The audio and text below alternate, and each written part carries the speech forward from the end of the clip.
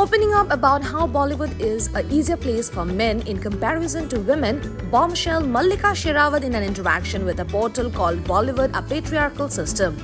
She said, and I quote, the industry is definitely a much easier place for male actors. Of course, they also have their struggles, but if you want to compare between actresses and actors, for sure it is easier for actors. To begin with, it is a very patriarchal system. The whole country is very patriarchal, so Bollywood is also a part of our country. The system is very patriarchal. Also, the kind of roles that are written, most of the directors are men. I am not complaining, I am just explaining how it makes it easier for men. Men are writing roles for men, so men are getting all the great parts. Thankfully, now with OTT, it is changing, but it definitely is a much easier place for men. For more news and updates, stay tuned to E Times.